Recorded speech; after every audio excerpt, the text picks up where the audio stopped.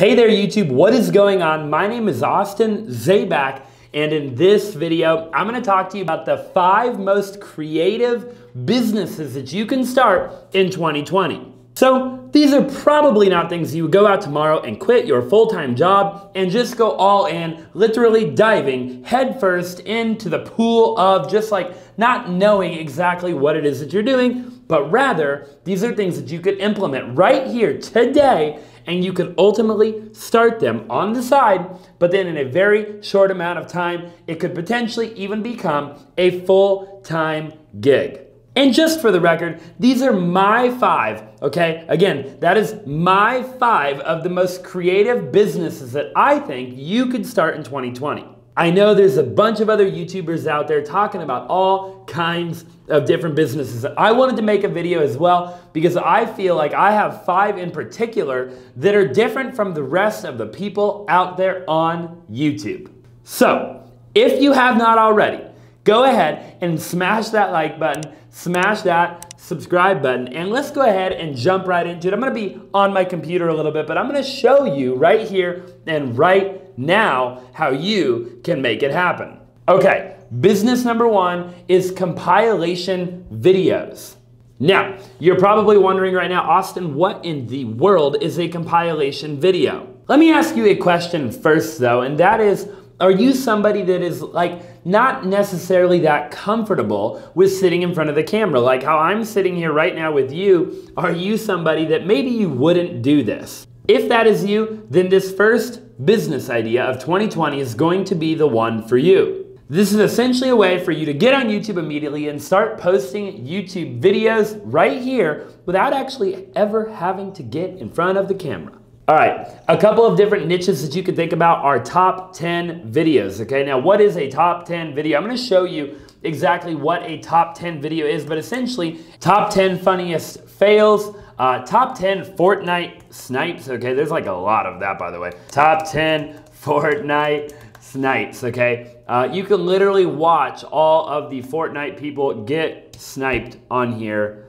And I'm a Call of Duty guy. I'm not a big Fortnite guy. I know Call of Duty is like super old school. If you're watching this right now, you're like, Austin, you're absolutely insane. But I'm a Call of Duty guy, and we used to do like no scope snipes. Okay, if you have any idea uh, about video games, then maybe you can do that in Fortnite as well. I don't know, but what I do know is that you can make compilation videos on YouTube. You can actually make a lot of freaking money. Okay, on the topic of making compilation videos on YouTube, I want to show you something really quick here, and that is if you go right into the search bar and, uh, and you go ahead and click the little filter button, you're gonna find a section called Creative Commons. If you're watching this in a time remotely close to when I'm making the video, then you will see a ton of top 10 videos on here. A lot of them are actually Fortnite, believe it or not, but essentially what Creative Commons is, is it's a bunch of content um, of people that are actually making a bunch of the regurgitated content, like the compilation content, like what I'm talking about right now. Like you're not gonna get a copyright claim or anything like that from using the Creative Common footage. Now, there are some other things for you to look into as well as it pertains to the compilation footage,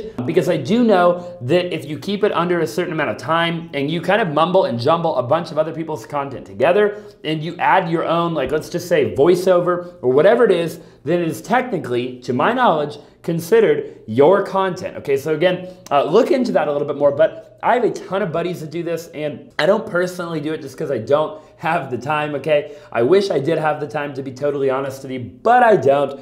But I do know this for sure that this business idea can actually make you like a lot of freaking money, okay? So if you're watching this video, like definitely check it out. I mean, I don't know about you, but I would freaking love to make like $10,000 a month. It's like literally six figures just from uploading YouTube videos, okay? And obviously just editing the videos and maybe doing a voiceover or, or whatever it is that you feel like you need to do to make it your own content, but leveraging other people's actual content. Which brings me to business number two in our creative business ideas for 2020, and that is the one and only, my personal favorite, the ATM business. I'm gonna show you a quick animation of how the ATM business works, and then we're gonna go ahead and jump right into it. All right, So if you got anything out of that animation, then now you know that ATMs are not just owned by banks. And if you haven't been already subscribed to me on YouTube, which I mean, you definitely should have already been subscribed to me on YouTube, and then you would have known that ATMs weren't owned by banks because I've been talking about it for like three or four or five or even six months now. So if you haven't already, smash the subscribe button. And yes,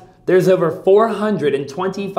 425,000 privately owned ATMs in the United States. So that means literally people like you and me actually own these ATMs. And again, if you've been watching me on YouTube or on Instagram or basically any other social media platform out there, then you would know that we actually have been acquiring ATMs for like the last year and um, is a phenomenal business to get involved in where you literally have the upside to make as much passive or residual income as you could possibly want. Which is pretty crazy to think about it because there's really not a lot of business ideas in 2020 where it's like technically like true passive income. I mean, if you think about it, most of the business ideas that people are talking about are like kind of passive, but kind of not passive, or they're like not passive at all, and you've got to like go out and like trade time for money.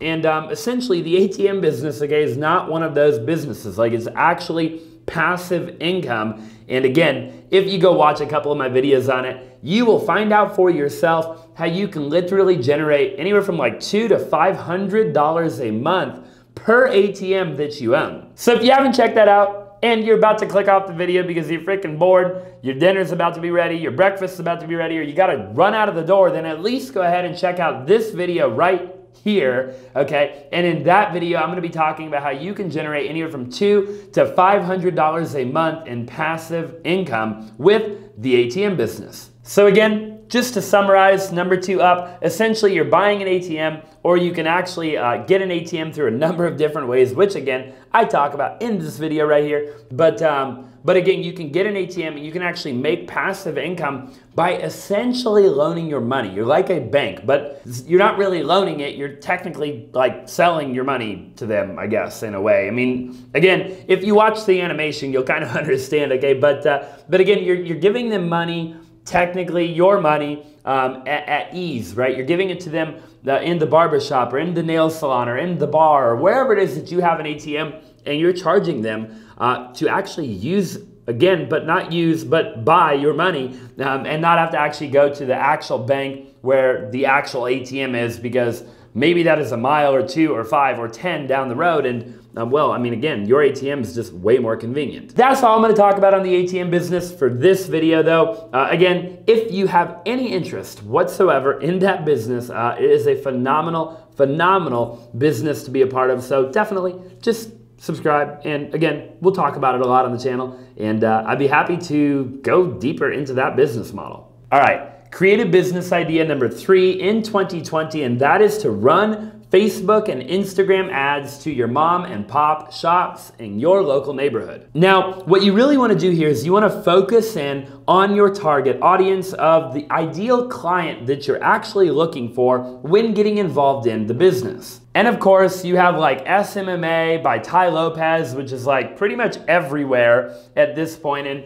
that was where Tai Lopez essentially went on a rampage and taught everybody in the world how to do SMMA, which again stands for a social media marketing agency. And I know that I did one, and if I did one, well, I can imagine that you did one, and if you didn't do one, you probably thought about doing one. But here's the deal. Uh, starting a Facebook or Instagram ads agency is actually a really good idea in 2020, and a lot of the people that tried to get into SMMA uh, didn't exactly make millions of dollars like they thought they would, and the ones that are making millions of dollars today um, do provide a pretty viable product or service to the actual consumer, which is what I'm telling you to do right here, except for you're just gonna start small, right? You're not gonna be this big time um, agency, okay? You're gonna start just you and you're going to actually learn how to do it, okay? There's a million videos out there um, on how you can learn how to do this, okay? So learn how to run ads, learn how to do it for your niche,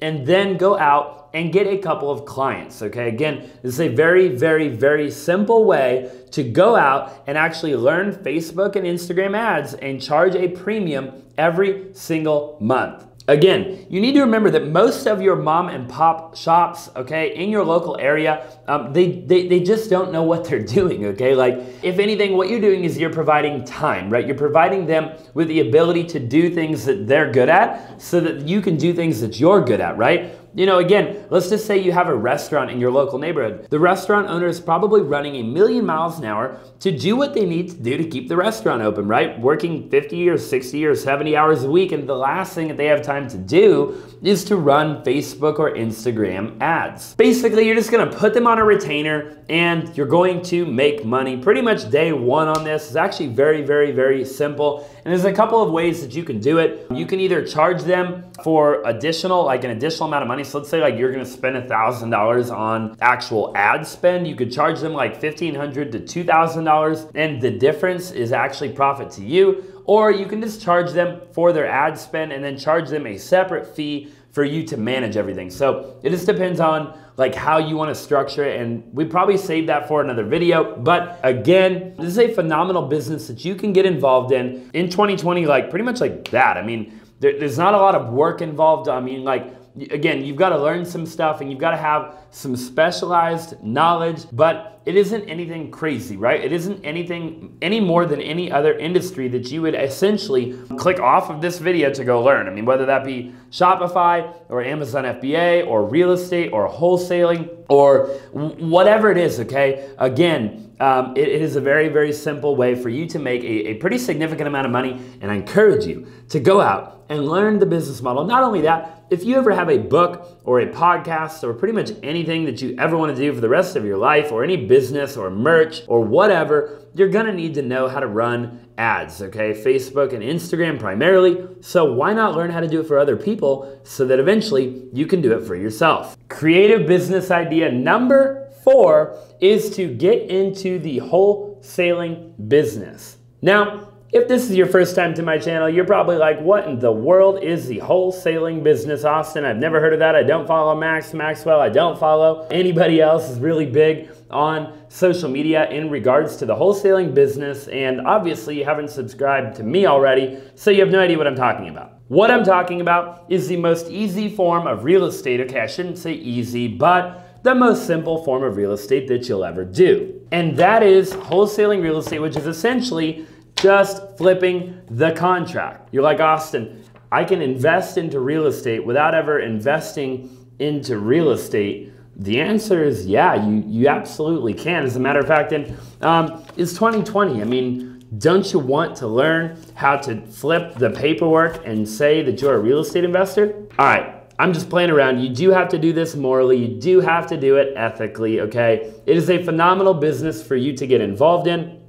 But again, you've got to do it the right way, okay? Just like any other business, you have to do it the right way. But essentially, yes, wholesaling real estate is where you just find a property at a discount with the seller because the seller needs to sell for whatever reason. Maybe it is a divorce, maybe it's a probate, maybe the, it needs remodeled and they've got to update it you know, whatever the reason is, right? Maybe the, the house is half burned down, it's a fire damage or a water damage or whatever the case is. They might even be going into foreclosure, they lost their job, whatever, right? The seller needs to sell the property, okay? And uh, essentially all you do is you actually go and you get that property under contract with the seller, okay? You're the buyer.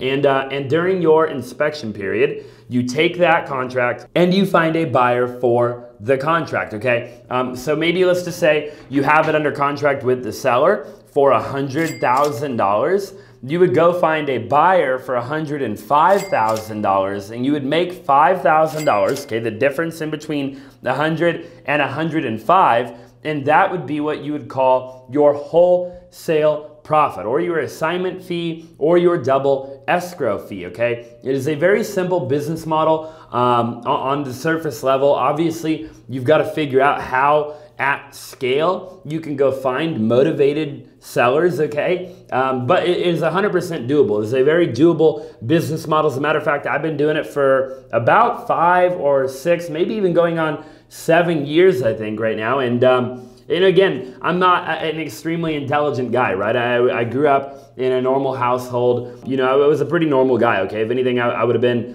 uh, probably below normal, okay? Uh, I didn't get that good of grades, eh, grades in school, and you know, I, I, really, you know, I worked really hard, right, to get to where I'm at. And, and honestly, in my opinion, I still don't think that I've done a whole lot. But what you have to remember is wholesaling was one of those first businesses that I ever got started in. And, um, you know, like, like I said, I mean, it, it isn't like I came out of some Ivy League college with, with some fancy degree and just became a millionaire. It took a, a lot of years. Uh, of sacrifice uh, to get to where I'm at. Okay, so understand if you're watching this video, then it look if I can do any of these businesses so can you. Business idea number five is to smash the subscribe button so you can come back to my next business idea video because when I started to film the video, I thought that I had five business ideas, but I actually only have four business ideas, okay? So business idea number five is to follow me, to subscribe, and, uh, and I'll make another video with another round or another set or different business ideas that you can get started uh, in 2020. Okay, maybe the, the second half of the year, maybe I'll go into a little bit more detail um, or, or, something of the nature. Okay, so uh, I really appreciate you watching the video and I hope that you got something from one of these business ideas, something that you can take away um, and actually implement right away. I mean, at the end of the day, these are business ideas that shouldn't take a long time to get started, right? You, you should essentially be able to, like, right after the video, like,